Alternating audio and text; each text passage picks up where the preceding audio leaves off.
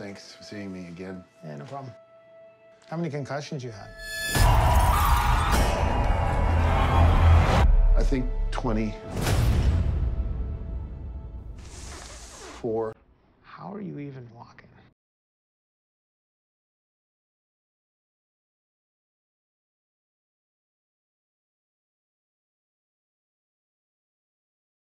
I had a mission to become an iconic person in my industry.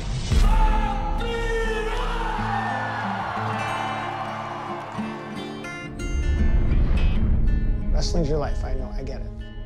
But you gotta stop. Where am I gonna go? You get you out now, maybe your daughter has a dad to walk her down the aisle. Yeah. This is how it's done.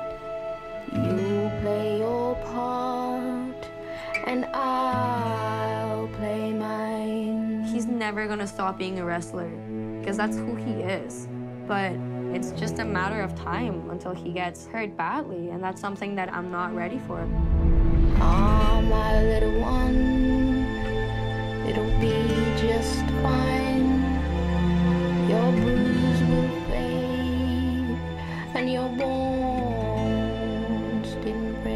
I just don't know how to do anything else. Ah, my little one, This is exactly where I'm supposed to be. it'll be just fine. Your bruise will fade.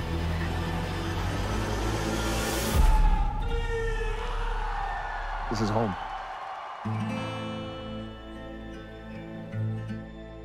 I think you should get braids back. They look so